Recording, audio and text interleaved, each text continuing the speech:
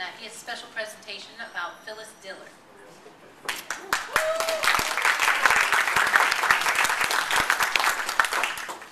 How do you like LA traffic?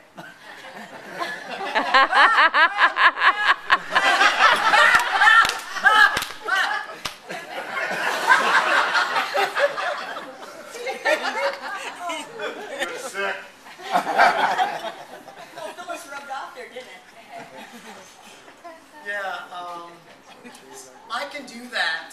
Um, a man of color from Canada, and uh, everyone, young and old, rich and poor, understands and relates to that sound.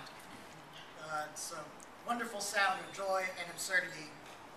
Wonderful sound that reminds us all of Phyllis Diller, comedian, film, television, and stage actress, author, recording artist, spokesperson, gourmet cook, entrepreneur, concert pianist, philanthropist, human humanitarian, and unquestionably one of the most beloved people in all of show business. Ms. Diller, or Madam Diller, has entertained the world for over 50 years. Most of you here know that. There's a generation who laugh, who laugh at the jokes of Tina Fey, Chelsea Handler, Kathy Griffin, Kristen Wiig, Ellen De- DeGeneres. All are hilarious in their own right. There is a generation, though, that needs to know that none of them, none of them, would exist if it was not for a woman, an independent woman that grew up right here in Lima, who had the balls to break the ball to break the ball breakers down to their most basic sensibilities. Lenny Bruce, Richard Pryor, George Carlin, Eddie Murphy, they broke taboos on stage based on content and revealing the truth about who we are as people and the stupid things we say and do that make us funny. Miss Diller did that first. She started out The Purple Onion, was supposed to be booked on stage for two weeks, only to be booked for 85 more. She has headlined in virtually every major supper club in the United States and scores around the world as a professional comic. She writes her own rapid fire comedy routines. She is celebrated all over the world, and don't let anyone ever tell you it is ever too late to run for your dreams. Ms. Diller was 37 when she began her career. Ms. Diller's work, her onstage persona with that crazy hair that Einstein would be proud of, her berating of Fang, the benchmark for everything a husband or a male companion should not be, her film work with Bob Hope, and the work she unabashedly had done on herself was a microcosm of Miss Diller the woman, the intellectual, the artist, the independent. Those bird legs of hers marched to the beat of their own drummer. But man, that march was glorious. Who else but Phyllis Diller, a woman whose comedy was based on the celebration of both the flaws and the joys of the human condition, would accept an honor by the American Academy of Cosmetic Surgery for having the courage to publicly bring plastic surgery out of the closet. Ms. Diller's comedy seems so bold, bold and flamboyant. She's inspired many drag queens. Hmm. but the reason her work has stood the test of time isn't only because she's as funny as hell, but because it's rooted in truth. It is that same truth that has been her muse as a concert piano soloist, painter, and philanthropist. She has been acknowledged and honored by many organizations for her patriotic and humanitarian endeavors, the Minuteman Award from the U.S. Treasury Department, the Distinguished Service Citation from the Ladies Auxiliary from VFW, the Humanitarian Award for AMC Cancer Research Center, and the USO Liberty Bell Award. As an ambassador for Childhelp USA, she has dedicated her life to inspire the younger generation to find that laughter within themselves that can shed light where there is nothing but darkness. When myself and Jess had the honor of meeting Ms. Diller, I understood why she is as successful as she is and why I wish there were more Phyllis Dillers in the world. She's a fabulous listener. She'll probably give me flack for that. She understands the roar of the crowd and the mumblings of another who is searching for his own laugh. It is hard to compact what seems to be five lifetimes of achievement into three minutes, but I would like to share with you why Phyllis Diller is, in my mind, the first comic rock star.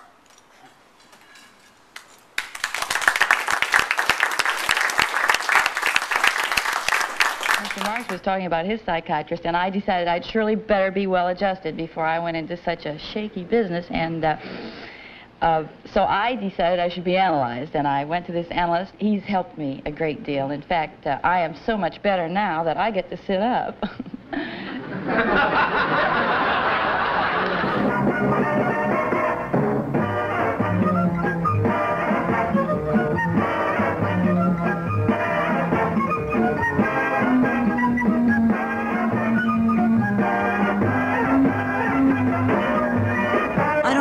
problem is. Tom is a wonderful man. I don't see the problem either, but let's go to Ollie Williams for the in-depth analysis. Ollie? Ladies home! Thanks, Ollie. Over to you, Peter.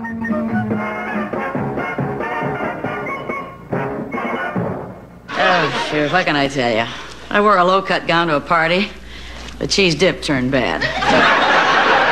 I'll tell you, the minute I walked in, I knew that they would know who I was because my breath is so bad.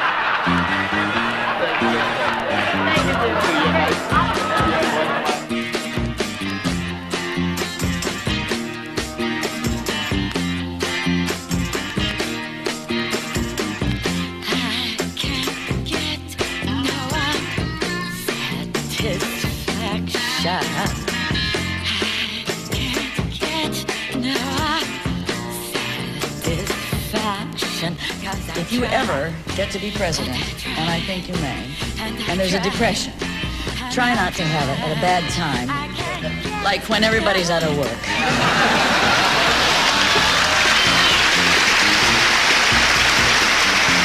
My face has been pulled up more times than Bill Clinton's pants.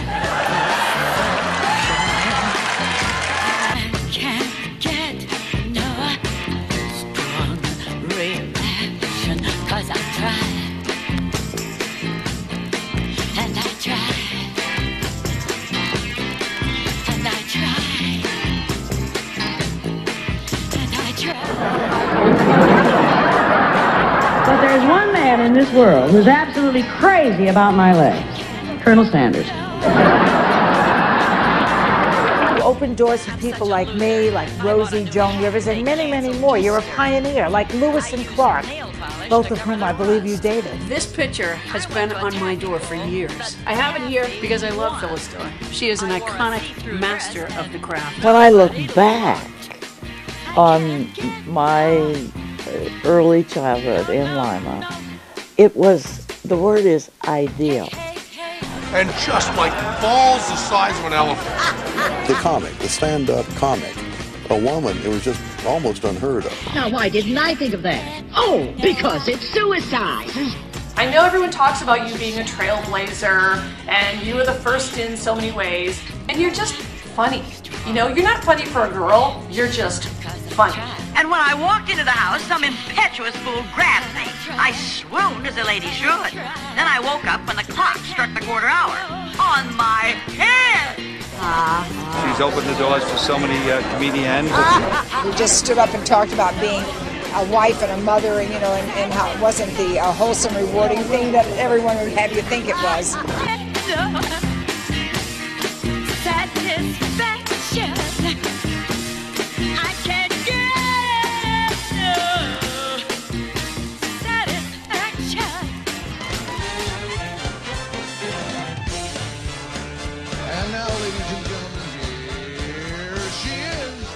Madonna of the Geritol set, Phyllis Diller.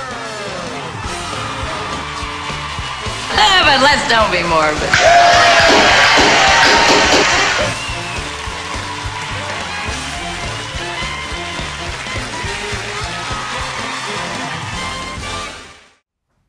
On behalf of the Northwest Ohio Film Foundation, the the Northwest Ohio Independent Film Festival, and her legions of fans from her hometown of Lima and around the world, it gives me great pleasure and honor to present Phyllis Diller, comic icon, comic trailblazer, and comedic genius with the 2012 Lifetime Achievement Award. Oh, you're going to give me that. Oh, well, then I like you already. Oh, oh, isn't that beautiful? Isn't that beautiful? And what a lovely gift. Well, it is a stunning award. Thank you. It is just gorgeous. It is absolutely beautiful. Plus, the thought behind it warms my heart. Thank you. Whoever would have thought that little old Lima, Ohio would end up the fast track? I love it. Lima has always been a creative place full of bright people doing bright things. And I'm so honored to be from Lima. And I thank you so much, Len, for this honor. I feel very honored.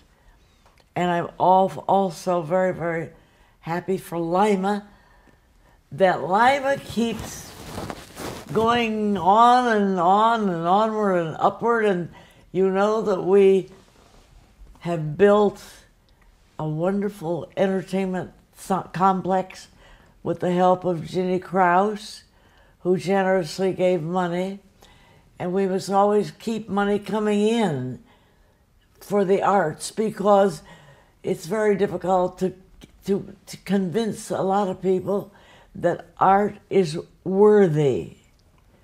But it is a worthy thing. It's the icing on the ca- cake. Yummy, yummy.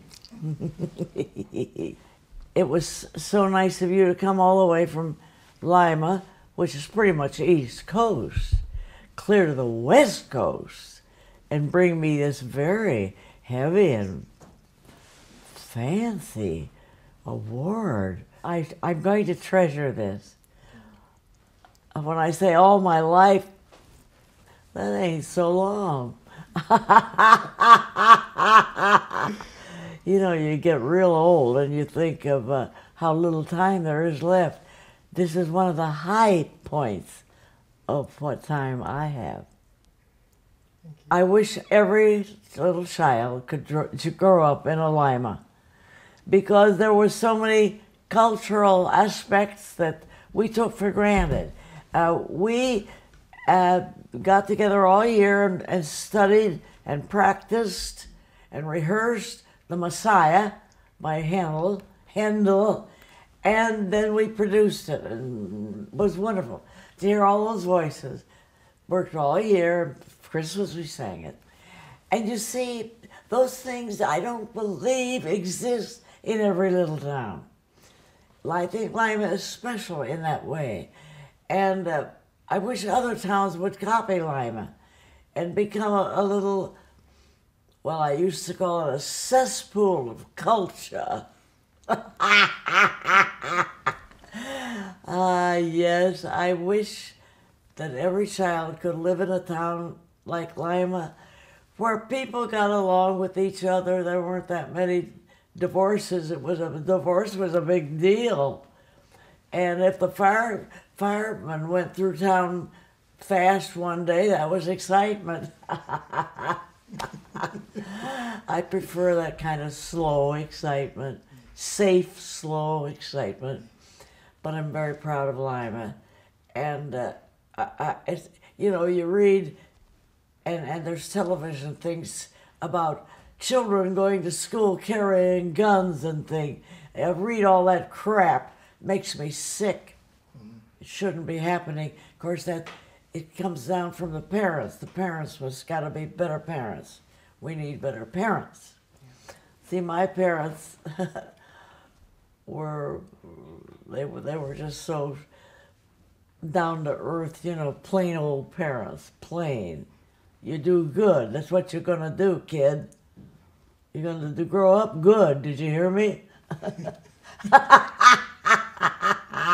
so you try to grow up good. I think I grew up pretty well. I think you did too. And because here I am with you, Len, and you have given me this beautiful award, and I'm very grateful to you. Oh, thank you so much. I want these kids to be good kids. When you started, you had your, your first gig at the Purple Onion, way back in, in you know 1955. 55. Did you did you ever think when you when you had that first when you when you went on stage that first time that you would have the career that you've had? Yes, I did. I did. intended to. You, you don't have these by accident. This was my plan. And of course, I felt it right then. Yes, you must know where you're going. You must decide where you're going. Then go. Oh, you've done it. incidentally, I was making $60 a week. Mm-hmm. Is that a lot of money back then? No! it never was a lot of money. no, but I just want you to know you work your way very slowly up. You've done a lot of work with Bob Hope, Yes, a, a a lot of my best work was with Bob. and you you went with him to Vietnam. Yes, And that what- was a big trip. What was that? What was that like? Well, that was very exciting because it was a real war, and they were dropping bombs around, and uh, it was a everything was big, you know, big airplanes and the helicopters seated 38 people, and and they had guns out the windows, bang, bang, bang, you know. So it was real, but we were we were proud to be a part of it and to be able to spread cheer. That's all we really did. We're morale boosters. What you you've now made the the transition from from uh, comedy to art, and I, I know that you you've done a lot of. Uh, Oh, the art. and so why, why why why did you make that, or was there was there even a transition? Did you just naturally? I've been painting. I've been drawing pictures and painting all my life. It's just that I finally decided to press that button. I, I love art. Art is should be a part of everyday life. It should be a part of breakfast, lunch, and dinner.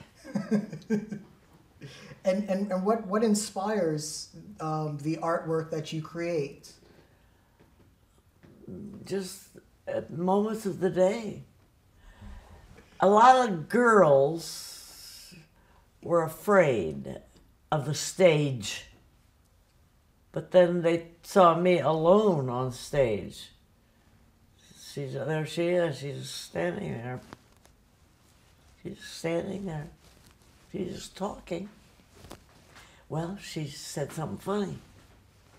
And I'm going to leave you with my favorite joke. I love it beyond belief. A mother is trying to get her son up in the morning, and she's running into a lot of, of static. And he says, Give me one good reason I have to get up. She says, You're 42 and you're the principal.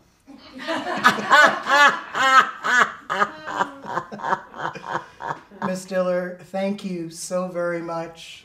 You are an inspiration to women. You're an inspiration to artists. You're an inspiration to comedy.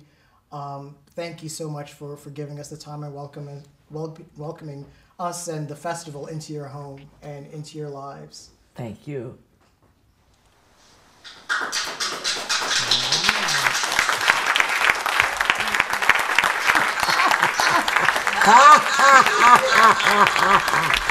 These are excellent.